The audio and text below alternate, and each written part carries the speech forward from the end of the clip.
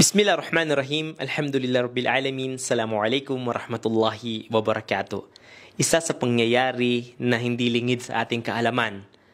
May mga tao na kapag binigyan o tinulungan siya o binigay sa kanya ang pangangailangan niya ng kapwa niya tao, kamag-anak, ko sino paman na nabubuhay sa mundong ito ay agaran niyang minamahal ang nagbigay sa kanya at gusto niyang suklian, gusto niyang gantihan at pasalamatan.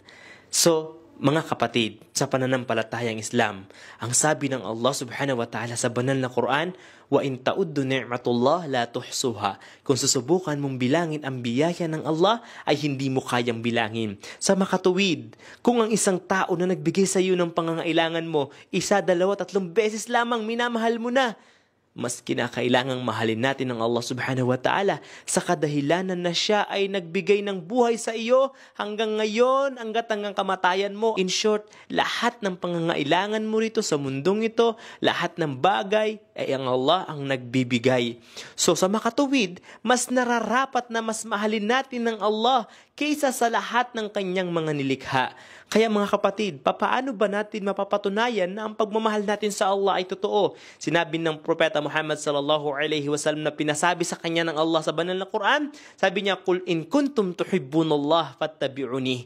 No, ibinigay na mensahe no ng Propeta Muhammad sa mga tao na galing sa Quran, kung kayo ay tunay na nagmamahal sa Allah, ay sundin ninyo ako.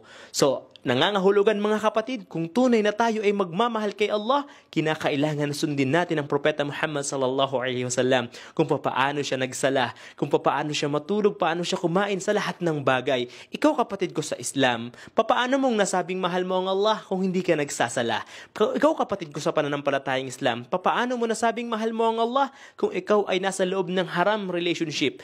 O aking kapatid sa pananampalatayang Islam, kung ano man ang nagagawa mong haram, itigil mo na yan kung totoo totoong mahal mo ang Allah.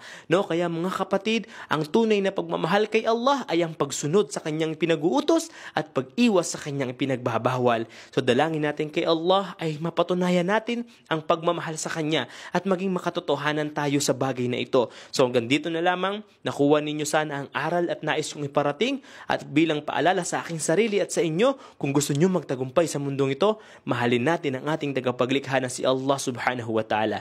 So jazakumullahu khair. Assalamualaikum warahmatullahi wabarakatuh.